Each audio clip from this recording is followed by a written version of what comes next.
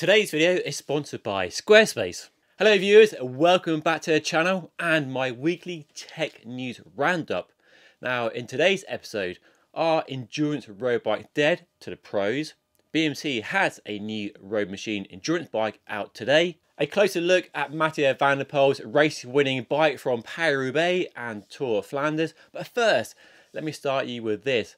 A Specialized Crux custom build which might just be the lightest gravel bike in the world. Certainly the lightest I've ever seen. So this Specialized Crux is pretty special. It's a one-off custom build by a chap called Oleg who is clearly obsessed with weight or a lack of weight. So he started with an S-Works Crux frame, already very, very light indeed, and took the paint off, gave it a full respray. But the most interesting and perhaps alarming bit for me at least is how he then modified both the frame and the fork to route the brake hoses inside.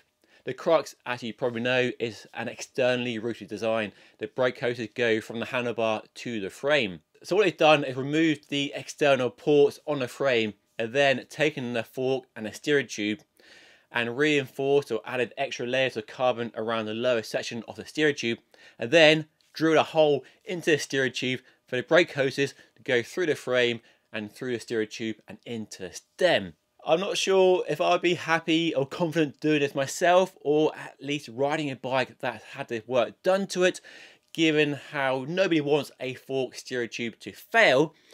I'm sure they've done all they can to prevent that from happening. It certainly gives the bike a clean look and points to a future Crux update with internally routed cabling and hosing. But part of the appeal of the Crux, as I've shared in my videos on the bike, which I own, is the simplicity of the external routing on this bike. And this really shows how popular internal routing is, that somebody has modified a frame and fork not designed for internal routing to make it so. Anyway, modified frame and fork steering tube aside, the components on the build are pretty special as you expect, all chosen purely for their low weight.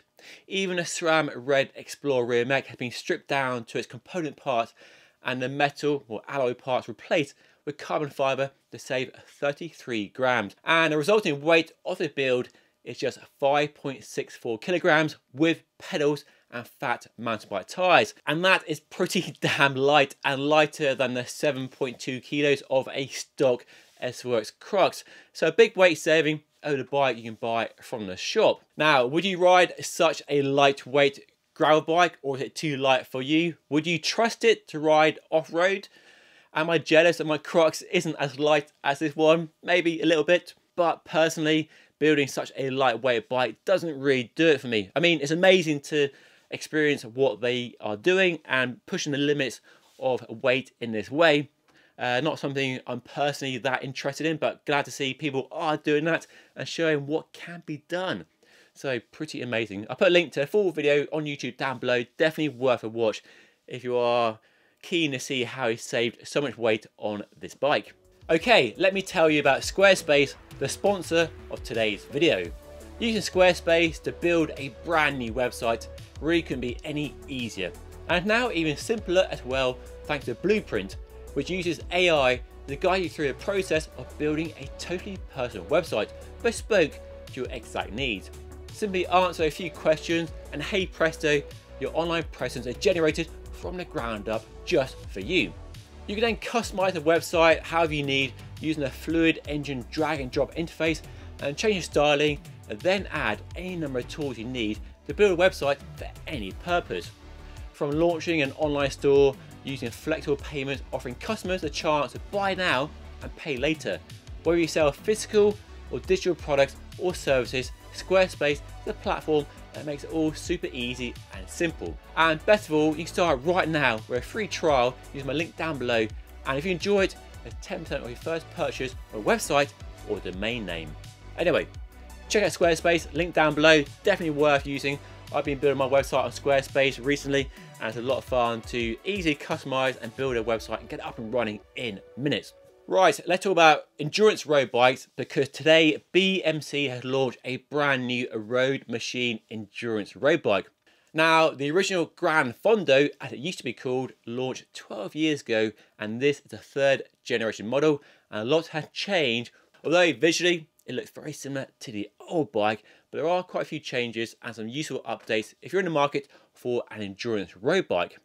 The bigger change to a new bike is a move to accepting 40mm wide tyres, the same as the Roubaix and the Trek Domane, but for some reason the company is only specing the bikes with 30mm wide tyres, which seems a bit odd when Giant and Specialized are specing their endurance bikes with 32mm wide tyres. And people are running 30mm wide tyres on their road race bikes these days, so not going wider seems a bit of a missed opportunity really. Another common detail we are seeing on endurance road bikes is in-frame storage which Trek and Specialized have done before with a storage compartment inside the down tube. A really smart feature, I think it makes a lot of sense on both gravel bikes, where we've seen it first, and mountain bikes before that of course, and endurance bikes, because you are doing a long ride, you're carrying a pump, spare tube, CO2, tyre levers, and having that inside a frame, away from the elements and not your saddlebag makes a lot of sense. The geometry has been mildly tweaked on the new bike as well. That improved tyre clearance normally comes with a longer wheelbase and longer chainstays, but the chainstays have grown by just 5mm and the wheelbase is between 1 and 3mm longer across the range, across the size range. So a very small um, stretching of that wheelbase despite the much bigger tyre clearance. The stack height has been increased as well for more rider comfort with fewer spaces needed, which is a good move. And the bottom bracket is now 5mm lower for a bit more stability, but you're more inside the frame. Yet, despite all the changes, we still have all the hallmarks of the old Roadmachine. The Tune Compliance Concept, or TCC for short, in the shape of the fork and the frame section designed to improve compliance a D-shaped seat post, and internal routing. The last gen Roadmachine, launched four years ago, was one of the first endurance bikes to get internal routing. The new Roadmachine is available at several levels. Prices start from just over $3,000 and go right up to a staggering $13,000 with Dura-Ace Di2. Now, the main topic for discussion today is the fact that the pros no longer use endurance bikes for racing. And anybody watching Tour of Flanders and Paris-Roubaix over the last two weekends will have seen an amazing performance by Mathieu van der Poel, absolutely crushing the competition and all his rivals on a pavé and cobbles. And he did it all on the same Canyon Aeroad CFR Aero race bike that he uses for all the other stages and races he does for the rest of the season, from a Tour de France to the other monuments to cobbled classics. In fact, most of the peloton were riding their regular race bikes, like the Tarmac SL8 and so on. But the main change on these race bikes being tyres, wide tyres were fitted for both races. 30 and 32mm wide tyres were popular and common setups, mostly tubeless with inserts as well. Mathieu van der Poel's actual bike used Vittoria Corsa control tyres in a 32mm width and according to an article on Cycling News were inflated to just 50 psi. Those tyres, by the way, were on Shimano carbon wheels which use a hooked rim design. And he apparently used foam inserts as well, likely ones like these from Vittoria, which I've just got in for testing to see what all the fuss is about. Most of the pros have their bikes set up with these, and we've seen some very public examples of that over the last few weeks, haven't we? So I'm keen to try these, see what they are like to fit to a wheel set and whether they make a big difference or not and whether we should all be running these in our tuber tyres or if they're just a load of extra faff and expense as well. But apparently Mathieu van der Poel rode another bike for the first 100 kilometres of the race, which is on relatively smooth roads, on a bike with 28mm wide tyre to save energy and then switch this bike with fatter tyres before the first cobble sections, which is pretty smart. And we have seen pros doing that in the past. Have an aero bike for that first 100k, and then their cobble bike for the actual cobbles. This is a far cry from 10 years ago when endurance bikes were being developed at a rapid rate for just these races. The Cannondale Synapse, the Special Roubaix, the Trek Domane, all endurance bikes developed for the riders in these races and with much input from their teams and their pros to make sure the buyers can meet their demands in these races. And this is largely because race bikes of the era weren't able to fit wide tyres and weren't very smooth riding at all. However, most modern race bikes, like the Specialized Tarmac SL8 and many others, now take up to a 32mm wide tyre and a general improvement in compliance in those race bikes have led the pros to stick with these race bikes. So the endurance bike just isn't needed by the pros anymore. And the other thing to bear in mind is that the pros don't really want comfort.